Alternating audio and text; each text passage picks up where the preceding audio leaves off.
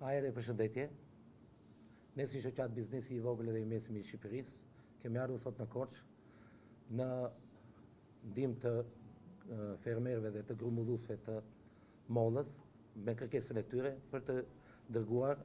një kërkesë tre institucioneve të shtetit,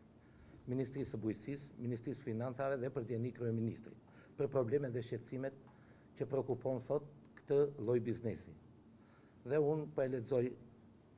materialin që ne kemi pregatitur për çdo ministri.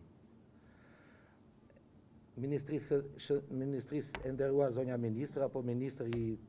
financave. Nisur nga kjo situatë problematike aktuale e tregu e tregut të mollës vendas në qarkun e Korçës, e cila ka mbetur e pashitur si tek fermerët ashtu dhe tek pikat e grumbullimit,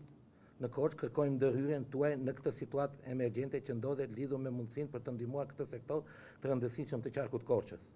Shqetësimi jonë është real dhe i bazuar pasi ndodhemi për një situatë ku vetëm ndërhyrja e shtetit shqiptar mund të zgjidhin mungesën e shitjes së mollëve të fermerëve të Korçës. Për këtë arsye i kërkojmë instancave ndërhyrjen tuaj lidhur me, rritjen e çmimit të referencës së mollës të importit, rritjen e kontrollit të produktit të importit të mollës, analizat dhe cilësitë në dogana ku importohet, ashtu si dhe të bëhet të bëhet me produktin tonë gjatë ekspertit e eksportit në vendet e pritjes. Prodhimi i mollës është një prej kulturave me shumë peshë në qarkun e Korçës dhe investimet e kryera nga fermerët në prodhimin dhe magazinimin e mollës në frigoriferët kërkojnë shumë mund dhe investim. Rreziku i mosshitjes së mollës vendas për arsye të importit në sasi të konsiderueshme dhe jo konkurruese, për sa i përket shumë problematika, që ne si fermerë i kemi ngritur në çdo takim, po sjellin falimentimin e fermerëve prodhimin e mollës në qarkun e Korçës. Ndodhemi në të njëjtën situatë të muajit shkurt të dy mijë e nëntëmbëdhjetë kur, pas ndërhyrjes tuaj, ne zgjidhëm këtë problem, solli dhe normalizimin e tregut dhe shitjen e prodhimit vendas. Molla mund të ruhet në kushte optimale në frigoriferë deri në muajin mars, sepse më pas kemi rënien e cilësisë dhe dëmet e saj edhe në këtë fushë, në këto kushte fermerët do të detyrohen ta hedhin sasinë e pashitur që llogaritet rreth dymbëdhjetë mijë deri në pesëmbëdhjetë mijë ton. Kjo do të sjellë humbje të madhe për grumbullimin dhe prodhimin e mollës në mungesën e kësaj kulture në vitin e ardhshëm, nga se më lart propozojmë rritjen e referencës importit me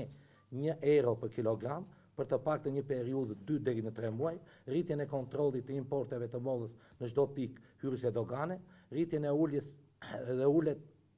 Rritja e ulët reflektuar së fundmi në referencën e importit të mollës prej vetëm me zero pikë zero shtatëmbëdhjetë euro kilogrami nuk solli asnjë efekt në ndalimin apo reduktimin e importit, kështu që ju kërkojmë të rritni referencën për një afat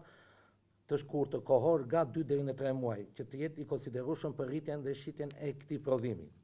Me besim. që shqetësimet e jonë do të gjejnë vlerësim nga qeveria, ju lutem të ndërhyni sa më parë për zgjidhjen e kësaj situate. Kjo ishte materiali që neve ju e kemi drejtuar tre dy ministrive dhe për dijeni kryeministrit. Desha sqaroja dhe diçka tjetër që